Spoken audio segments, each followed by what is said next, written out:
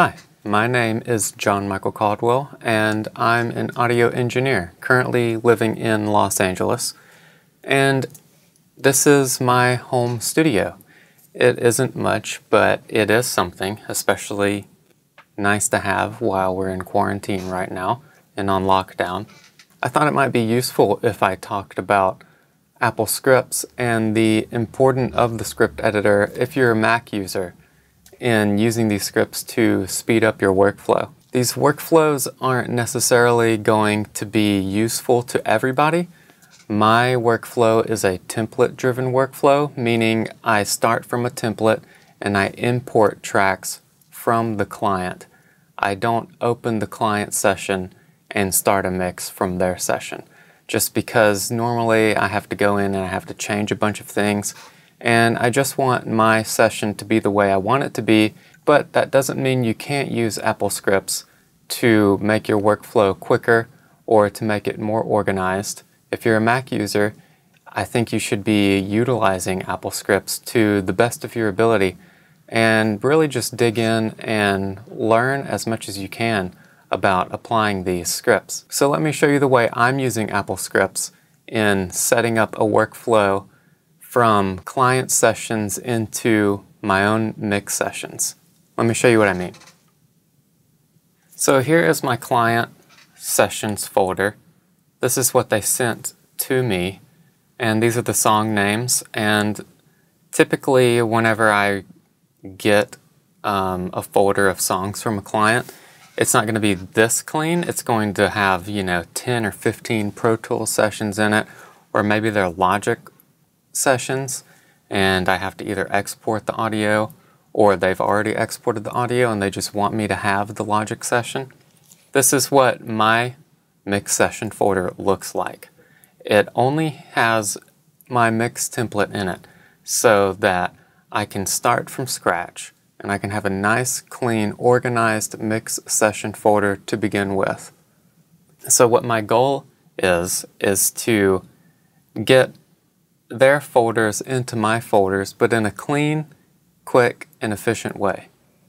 I'll open the Apple script. This is what an Apple script looks like if you haven't seen one. Um, I like to put what I created it in. Up here is the toolbar where you can compile your script. The play button is for running, but I'm going to be pressing Command R to actually run and engage the script. What I want to do is take these folders, which are the names of the songs, and what the script is going to do is that it's going to create new folders with the names of these folders in a destination that I tell it to go. I'll choose my destination, which is my session folder with my template. It will ask me if I want to append the name. Um, I can, maybe the band name was in here and I want to take it out, but I'm not going to. I'm not going to append the name. I'm not going to add a prefix either, but I will add a suffix. My suffix is just going to be mix at the end. And now you can see that it created empty folders in my session folder for the band. They're all just empty, but they do have um, my signifier, which is the mix, so that I know that this is the actual song's mix. So the next thing I want to do, since all of these folders are empty, uh, I want to copy the template into each folder. So the way I'm going to do this is another Apple script. I'll use this create selected file in the selected folders script. What I'll need to do is select the folders that I want to copy this template into. So now I'll run the script. It will ask me to select a file to copy. I'll copy my mix template, which is what I want to start with and move. Do I want to add a suffix? Um, yes, I will add a suffix. What the script is going to do is that it's going to copy the name of that folder to this, to my mix template file, and then I can add a suffix, and the suffix I'll add as prep because this is going to be a prepping session. And now you can see that it has copied this and renamed this file into these folders. and it's a quick and easy way of doing this. And now, I might do something like creating an empty folder inside of all of these as well. So I'll need to select all of the folders I want to create this folder in. The name of the new folder, I'll probably make it something like old sessions. Just something that I can move old things into. And there you have it. And then the next thing in my workflow is I'll bring the session that I want to import into my template down into my folder for each song. I don't have an Apple script of doing this yet. I might do that in the future. And I'll just rename it import. And whenever I'm done importing that into my template, I'll bring it down into old sessions. And then I'll duplicate my mix prep session and I'll rename it version 1. That way I know that it's ready to be mixed. And I'll go through every song and do this. I don't just do a song and then mix it, prep a song and mix it. I'll go through the stages of creating all of these and I'll prep everything and then I'll go through and mix everything. So this is how AppleScript can be helpful in my organizational workflow of prepping sessions from client delivered files. But let me turn to Pro Tools and show you a couple of Apple scripts that I think are useful um, to have to speed up workflows and things like that. Imagine this is a mix session and I now have stems that have been printed from a mix and everything's been approved and I'm going to deliver these stems to my client or the record label or whoever it is that I need to deliver the stems to. I want to do it cleanly and I want it to look nice and I want it to look professional.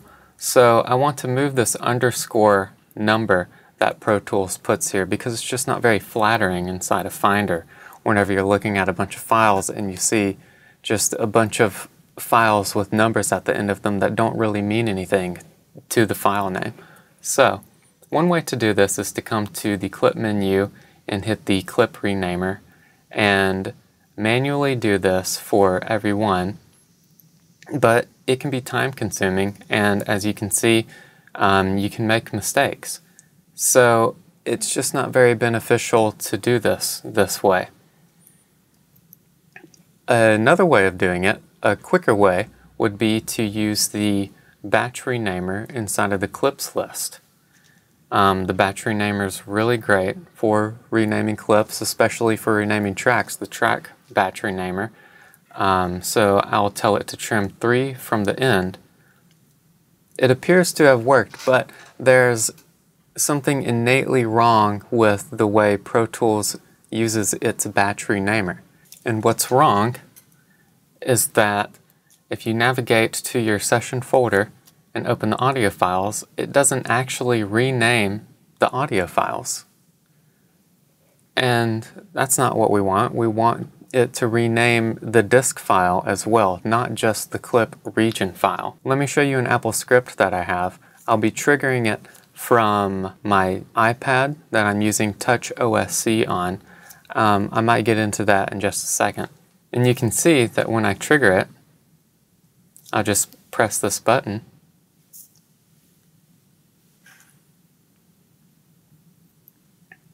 It goes through them pretty quickly and fairly accurately.